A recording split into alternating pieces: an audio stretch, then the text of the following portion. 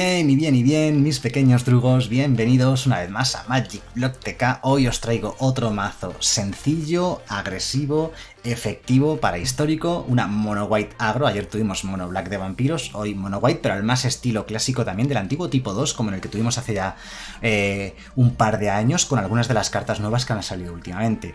¿Qué es lo que tiene de lo antiguo este mazo, de, histórico? Pues bueno, pues cartas de la calidad de vanguardia de Adanto, que se saltan las iras de Dios, cartas de la calidad de desembarco de la Legión, que es un flujo de criaturas incesante para el futuro, o guardaespaldas intrépida para proteger alguna de nuestras criaturas. A lo cual le añadimos algunos toques de las nuevas cartas de las antologías históricas y del archivo místico, como son el excelente diezmo de maná, ese Force Spike, ese, es una carta idéntica a otra carta azul que se llamaba Force Spike, pero en versión blanco, muy muy buena como contrahechizo y como truco ahí que el rival no se va a esperar. Eh, y la otra carta que os iba a decir así, eh, de las últimas que han salido en, la antología histórica, sería Talia, Guardiana de Thraben, que hace que los hechizos que no sean de criatura cuesten uno más, pero ojo, también a ti te afectan, ¿vale? También te afectan a la hora de tirar diezmo de mana, desembarco de la legión o... Em, o cualquier otro hechizo de ese estilo que no sea criatura que vayamos a, querer jugar en este mazo, ¿vale? Bueno, eh, de las cartas nuevas, pues cartas nuevas hemos recibido en el color blanco muchas y muy buenas, sobre todo eh, a raíz de Zendikar. En septiembre, cuando salió Zendikar, pues nos vino Aspirante Luminarca que hace crecer nuestras criaturas, nos vino el Fantasma de la Runa, que es uno de los mejores removals blancos que, hemos visto en los últimos años, y eh, tenemos también el Arconte de Meria, que fastidia mucho a los mazos de combo, mazos de control, dado que no van a poder jugar varios hechizos en el mismo turno, incluso mazos de criaturas pequeñas como elfos y cosas así. Recientemente, bueno, pues hemos recibido, hemos recibido de élite muy buena disrupción, en Caldein tuvimos Reidane también más disrupción, o sea que como veis es un mazo muy agresivo, con mucha disrupción hacia el rival, se podríamos, podríamos llamarlo incluso una especie de taxes este mazo, porque tiene efectos de taxeo como son Zalia, como es el atrapa hechizos, el Arconte de Meria no es taxeo porque no le va los costes, pero le imposibilita jugar hechizos. Reidane lo mismo, también con los hechizos de coste 4 más que no sean de, que, no sean de criatura, efectivamente. Y bueno, y el resto, pues bueno, tres Inspectora de Thraben para la ventaja de cartas, dos Mata Gigantes igual, ventaja de cartas porque puede matar una criatura y además luego es un buen bicho en mesa cuando te pones a girar criaturas del rival. Y eh, por último, bueno, una copia de Tejeglifos abnegado, lo mismo para saltarnos los efectos ira. En cuanto a las tierras, hay dos opciones. Podríamos meter llanuras nevadas y, eh, y la tierra nevada que se convierte en criatura 4-3, o la opción que llevamos, que es Llanura y Castillo del Valle de Arden para poner tokens directamente con ello. Yo creo que están bastante igualados, bastante empatados y cualquiera de las dos opciones sería suficientemente buena. Bueno, vamos a echarnos unas partiditas. Eh, os voy a dejar como siempre debajo del vídeo en la descripción el listado completo de este mazo para que lo podáis exportar a Magic Arena, probarlo y jugarlo y tal. A ver si tenemos un poquito más de suerte que ayer porque ayer, mira, ya hemos empezado mejor que ayer, salimos y esta mano no tiene ningún hechizo de coste 1, pero nos la podemos quedar perfectamente. Porque si, por ejemplo, el rival jugase control, doble vanguardia de Danto está muy bien. Mm, sale de isla, vale, ahí está. O sea, otra cosa, por cierto, importante es que, como nos hemos robado muchos hechizos de coste 3, robar la tercera tierra se agradecería bastante. Azul, rojo. Pues una ICET de Fénix o una ICET eh, de control. No, madre mía, qué asco de vida es un mazo de artimaña de Tibalt. Pues una lástima porque es un mazo que no nos va a dejar jugar y mete en mesa de primeras un Borinclex contra el cual no podemos hacer nada. Al, menos se gira al atacar, pero de poco nos va a servir. A ver si robamos tierra al menos. La buena noticia es que él va a tardar bastante en ganar esta partida. O sea, bastante. Tiene que hacer dos ataques más como mínimo. La pregunta es... Con esto le imposibilitamos el combo, por ejemplo. Voy a jugar Atrapa Hechizos de Elite que pega más que el Arconte. Si tuviese otra vez el combo, algo podríamos hacer contra ello. Da igual, la mano que tiene no sirve para nada. Le vamos a quitar el Borinclex, da igual. Y bueno, lo malo es que él pega bastante más, pega de 6. Nosotros, bueno, el siguiente turno pegamos de 6, pero es que él ya habrá pegado dos veces de 6, así que no creo que nos dé tiempo a ganar. Podemos hacer em, doble o triple block y matar el Borinclex. Y quizás podríamos llegar a ganar la partida. A él le quedan dos ataques todavía, o sea que...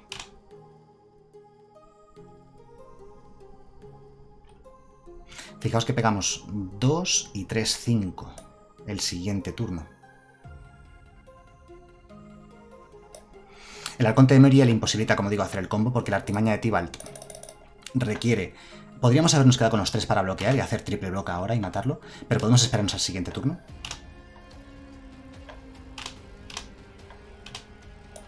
Él luego es que no tiene nada, no tiene nada, es un mazo, solamente lleva, lo único que puede jugar es Artimaña de Tibalt y Serpiente Reptaroca, muy raro sería. De hecho no lleva verde, parece, ni siquiera. Vale, 2 y 2, 4 y 3, 7, bloqueamos 6, vale, perfecto, atacamos simplemente con... Yo creo que Da igual con cuál, con la vanguardia de Danto o con el atrapachizos de élite, va a ser exactamente lo mismo. Pegamos de 3, bloque, triple block al Borinclex. O sea, fijaos que a lo mejor ganamos esta partida al mazo de artimaña de Tibalt. Le matamos ese Borinclex, nos lo quitamos en medio. No nos mata a los tres bichos, por cierto, solamente mata a dos de ellos. Y hemos ganado la partida. Muy tonta la partida, pero bueno, así son las cosas. Protegemos a ese, jugamos otro de estos. Protegemos este, por ejemplo, pegamos de 6, tenemos un turno más. Y él no tiene nada, ¿vale? Porque sabemos que tiene una omnisciencia. O sea, tiene tres hechizos en mano que no puede jugar. A lo sumo, si hubiese jugado Pantano, podría haber jugado la ciudad de Nicol Bolas. Bueno, primera partida súper rara. No os rindáis nunca contra Artimaña de Tibalt. Bueno, nunca. si os hace Ulamog de segundo turno o Ugin de segundo turno, es muy, probable que perdáis. Sin embargo, el Borincles, como veis, es una amenaza relativa. Si no viene acompañada de nada más, es una amenaza con la cual seguramente podéis lidiar e incluso remontar, que es lo que ha ocurrido, ¿no? Simplemente hemos triple bloqueado ahí al Borinclex y ya está. Venga, vamos a jugar una partida más a ver si sale una partida normal, porque las de Artimaña de Tibal no entiendo la gente que juega ese mazo. O sea, esa gente dice, bueno, voy a sentarme y voy a jugar a Magic, y, se pone a jugar Artimaña de Tibal, eso no es Magic. Y hemos salido a las dos partidas. Se nota, también lo comentaba ayer, ¿no? Que cuando veis un vídeo de alguien que graba un mazo y no sale ninguna partida y pierde, dices, ah, qué malo es el mazo. No, tampoco. Igual ahora, no penséis que el mazo es demasiado bueno porque ganemos al salir. El problema no es el mazo, el problema es Magic. Magic yo creo que tiene que empezar a plantearse muy seriamente cambiar el sistema de selección de manos y de partida. Este rival jugaba artimaña de Tibal o algo así y no le ha salido la mano o algo, no sé. Bueno, no cuenta. Como digo, no penséis que un mazo que gana todas eh, por, eh, saliendo es porque ha tenido suerte porque sale y por eso gana. O sea, no penséis que es bueno, es lo que quiero decir, al final solamente por haber ganado, porque si has salido... Es que ya digo, Magic tiene un problema, un problema que no parece que les interese mucho resolver. Es un problema que se conoce desde el primer día de Magic. Quien sale tiene una ventaja muy... O sea, tiene una ventaja mucho... Tiene una gran ventaja respecto al oponente, ¿vale? Es media partida el salir, es media partida ganada. Y eso es así, o sea, solamente hay que mirar estadísticas y sobre todo teniendo en cuenta que en Magic Arena, eh, Wizards of the Coast siempre ha impulsado el best of one al mejor de una partida. Y además ha intentado introducir temas de Mulligan que lo favorecen. Uf, interesante mano. Me voy a quitar, me a quedar con las tres tierras. Este mazo usa el maná, o sea, es decir, no le importa tener 3, 4, 5, 6, 7 de maná. Ah, qué rabia esa Inquisición. Porque a largo plazo, con los castillos, del, los castillos del Valle de Arden, ¡ey! Nos ha quitado Rey Dani. Me ha sorprendido, ¿eh? Pensé que nos iba a quitar, de hecho, el desembarco o en todo caso el aspirante a luminarca. Ahí va, Etergénito. Buena carta. fácil. No podemos atacar, lógicamente, que su bicho es más grande. Es un mazo de vampiros, Mono Black Vampiros, que es el mazo que jugamos ayer precisamente, que es un mazo que ayer no salieron muy bien las partidas, pero tuvimos mala suerte, es lo típico que estaba comentando. No salimos en ninguna de las tres partidas que jugamos y encima hicimos mulligan en dos de ellas. Aquí no nos compensa bloquear, lógicamente. Y este turno, ojo, esto hace que las tierras no básicas entren giradas. Mm, tendrá algún pantano. Creo que la, jugada aquí es atrapachizos de élite, de todas maneras.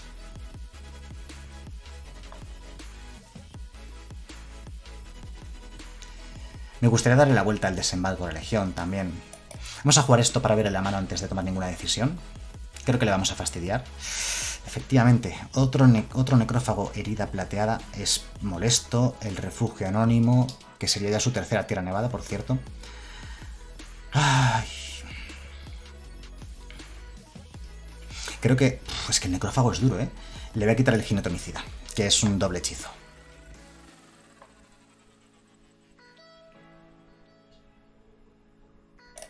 Vamos a seguir haciendo crecer este bicho. No vamos a atacar. Cuando tengamos un 4-4 vínculo vital, vamos a empezar a fastidiar bastante. Salvo que se deje el etergenito para bloquear. Pero también otra cosa importante. Sigue atacando. Nos comemos el ataque. Si nosotros tenemos vínculo vital aquí, vamos a ganar un montón de vidas. Va a pegar bastante él. Eso sí que es cierto.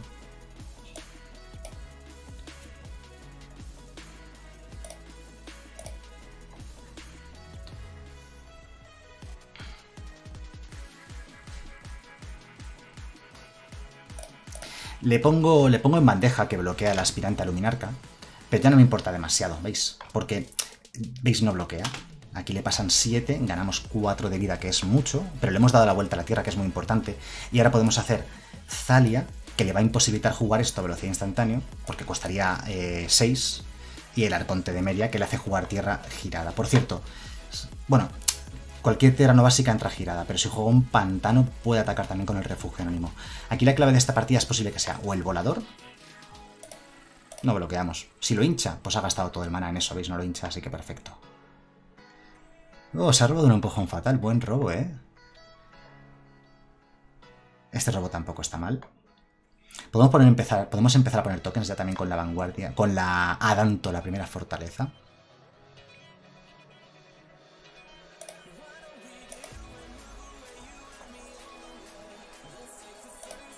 ataco con todo. Para adelante.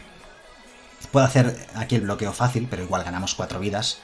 Y le pegamos de 5, él baja a 12. Bueno, baja a 12, gana 2. Podríamos haber jugado la guardaespaldas y haber protegido el token. La verdad es que también podríamos haber hecho eso.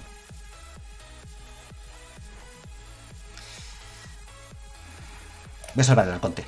O sea, le, vamos a dar protección al Arconte. Podemos empezar a poner tokens 1-1 vínculo vital con esta Adanto. Que nos van a venir muy bien. ¿Veis? Puede jugar, puede jugar... Bloqueo fácil. Creo que vamos a bloquear un 3-1 de estos. Me sorprende... A lo mejor nos lo mata con el jinete homicida pagando 5. De momento parece que no. Podemos bloquear ahí. Yo creo que ese doble bloque está bastante bien. Pensad que la guardaespaldas intrépida en esta partida no, no va a servir de mucho porque nos la, va nos la puede bloquear fácilmente con esto si lo juega como 2-3 o nos lo puede... Al final nos matará al conte, que no está mal. Le cuesta dos vidas más, por cierto.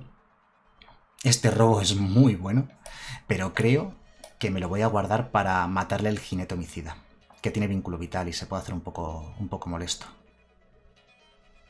Sí. Vamos a ver si lo juega.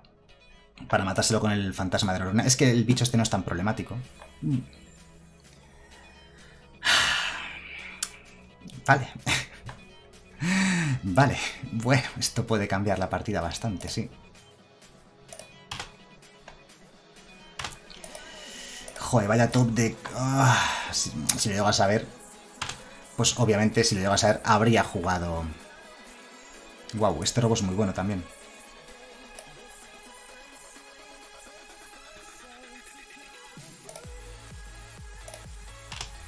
Matamos en dos ataques. Siguiente turno matamos. Si no se top de que ahora un anticriaturas, ponemos otro contador más uno más uno, pega de 5 y matamos. Vale, bien, hemos ganado la partida. Ha sido buena partida esta, ¿eh? Ha estado igualada y son dos mazos similares, ¿no? Dos mazos agresivos. El mazo del rival creo que es la de vampiros igualmente, ¿eh? Aunque lleva alguna carta, alguna criatura que no era vampiro específicamente, creo que he visto alguna versión por ahí de vampiros mono black que llevan esos jinetes homicidas, por ejemplo. Incluso también el Pyrexian Obliterator también lo llevan. El que por 4 son 5-5 arrolla, que todo el daño que recibe el oponente sacrifica permanentes y eso. Por cada daño recibido y esas cosas. Le vamos a jugar una partidilla más. Y sale el rival.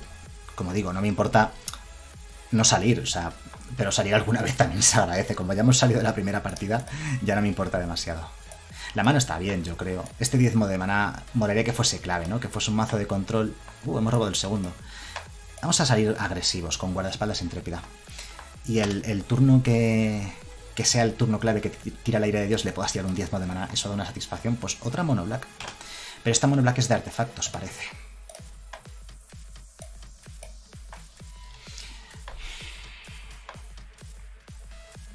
Doble bicho o vanguardia de Voy a hacer doble bicho este turno.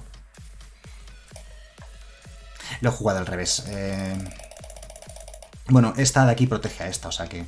Esta no puede bloquear, por cierto, para que, lo sepáis. Siguiente turno, vanguardia de Adanto y nos quedamos con un mana enderezado para hacer el diezmo de mana. Este bicho solo sirve para atacar. De momento la carrera de, de vidas nos favorece porque tenemos una mesa bastante más agresiva que la del rival. Uh, engendro del caos. Problemas.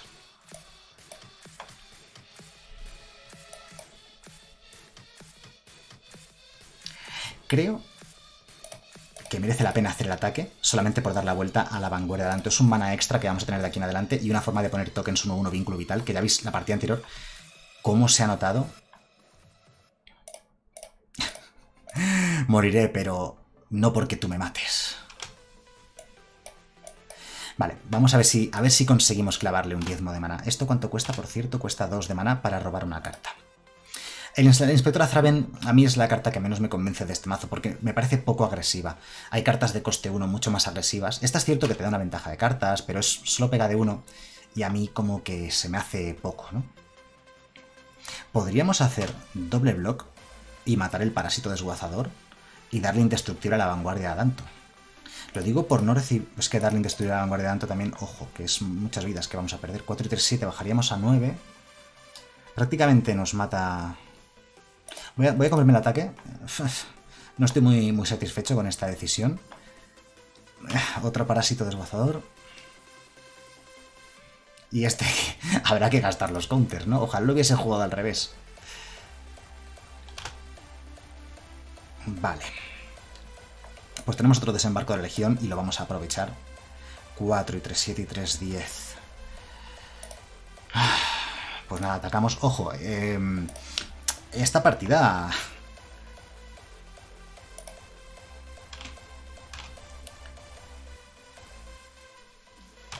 Va a estar muy igualada, porque a él le quedan 6. Podemos chumbloquear y ganar una vidilla con el token. Esperemos que no nos mate el token. Si nos mata el token estamos muertos, por cierto. No había, no había pensado en eso. Con un empujón fatal. Tonto de mí. Demasiado confiado. También otra cosa que tendría que haber hecho es haber sacado maná y haber puesto otro token 1-1, ¿verdad? Aquí eh, ha, sido, ha sido cosa mía. He fallado, he fallado yo totalmente. No podemos hacer nada. 5 y 3, 8 y 3, 11, nos morimos. vamos a jugar una partida más, que el vídeo tiene muy, ha quedado muy, muy corto. ¿Cómo vamos? ¿Vamos 2-2 puede ser? Vamos 2-2, vamos a jugar la última partida de ese empate. Y he atacado demasiado, tendría que haber dejado dos bloqueadores. De hecho, es más, he cometido otro fallo, no solamente el de haber atacado demasiado, sino cuando he jugado, cuando se ha dado la vuelta, la tierra, tendría que haber dejado dos tokens 1-1 bloqueadores, es decir, tendría que haber sacado el mana y haber puesto un token adicional. He sido ahí un poco negligente, ¿no? Vale, bueno, sale el rival, una mano de una tierra, otra vez Mulligan. Esta mano está bastante bien, nos la podemos quedar. Y además que tiene un poco de todo. O sea, tienes turno 1, turno 2, turno 3. El rival no sé cuántos mulligans ha hecho ya. Será otro mazo de artimaña de Tibalt. Ahí está, otra victoria. Bueno, hemos ganado dos partidas, así que el rival se ha rendido automáticamente. No sé, no sé por qué la gente sigue jugando mazos de artimaña de Tibalt, pero creo que nos hemos encontrado tres. Uno seguro porque lo hemos visto, hemos jugado contra él y le hemos conseguido ganar, ¿no? Pero otros dos se han rendido sin haber jugado ni una sola carta. Seguramente artimañas de Tibalt o mazos de combo absurdos similares, esperamos, lo más probable es que fuesen artimañas de Tibalt. Deberíamos contarlas, pero bueno, esas no las contamos, ¿vale? Esas victorias pírricas en las cuales el rival no llegaría a jugar una carta. Ese mazo no lo entiendo, no entiendo a la gente que se sienta, ya digo, voy a jugar a Magic y, y tiro, es como tirar una moneda al aire. ¿Me sale el combo? Gano. ¿No me sale? Pierdo. Vale, vuelve a salir el rival. Lo de haber salido dos partidas al principio era un sueño. Vale, si robamos tercera tierra, esta mano es decente. No es que sea la bomba, pero es decente. Porque es una monoreda agresiva. Wow. Me habría, me habría gustado... Si ataca bloqueo, vale. Eh, la vanguardia de Danto es muy mala en este emparejamiento. Os aviso. Voy a meter el contador al aspirante. Nos quedamos bloqueando, lógicamente.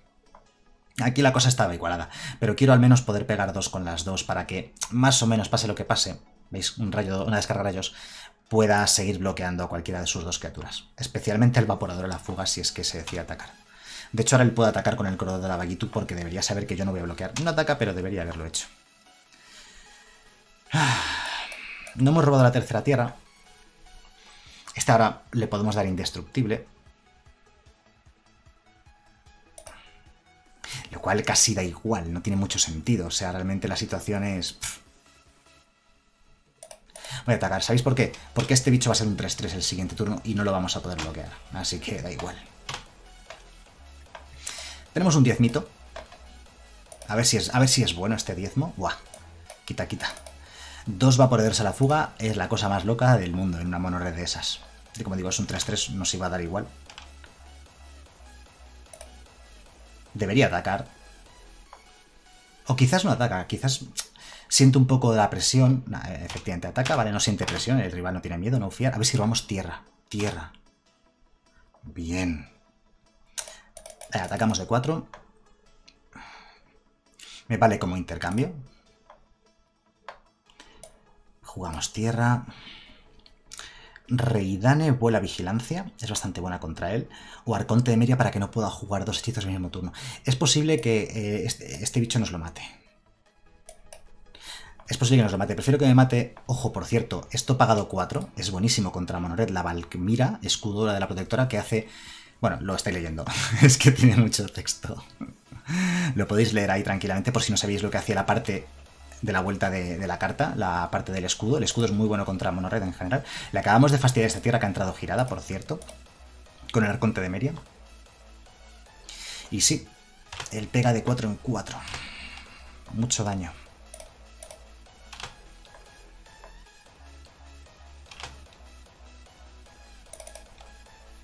Solo puede jugar un hechizo por turno, eso es muy bueno contra el vapor de la fuga.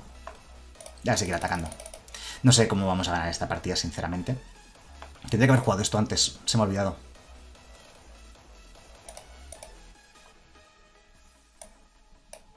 Es demasiado bueno el escudo. Quizás podría no haber atacado tanto. Haberme quedado bloqueando. Pero fijaos que ahora pega de 4. Y solamente puedo jugar un hechizo por turno. Tendría que haberme quedado bloqueando. Otra vez he vuelto a cometer el fallo de atacar demasiado. No sé qué me está pasando. Como que me tomo muy a ligera los ataques del rival y las cosas que hace. Esto es contra cualquier eh, hechizo habilidad que controla al oponente. Lo digo por las ruinas de Ramunap, que hacen un daño en lugar de dos. Este robo es bastante bueno ahora mismo. Ojo que solo podemos jugar un hechizo por turno.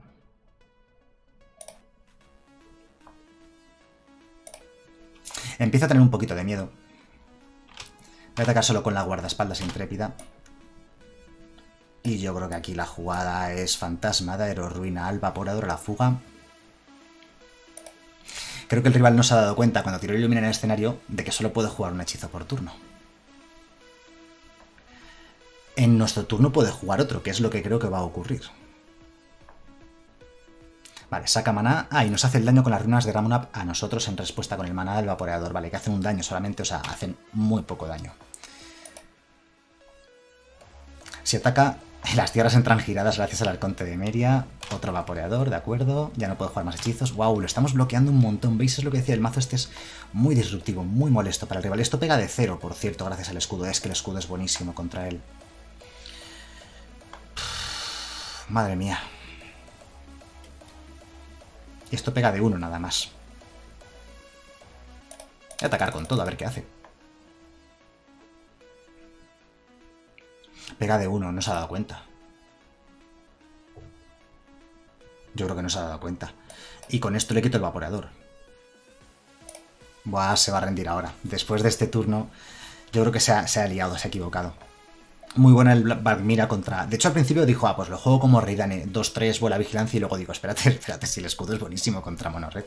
A ver, últimamente estoy yendo, estoy yendo así, em, con mirada de ¿cómo se dice eso? Eh, mirada de túnel, o sea, decir, no, no, no pienso, o sea, voy para adelante, para adelante, para adelante y me equivoco mil veces en mil cosas. No sé qué me está pasando últimamente, estoy como muy, muy bajo de nivel, muy desconcentrado, poco, poco focalizado en lo que es todo el conjunto de la partida. No es solamente, a las vidas del rival. Veo el 6 ahí de las vidas del rival y voy a por él y me equivoco bastante en ese sentido.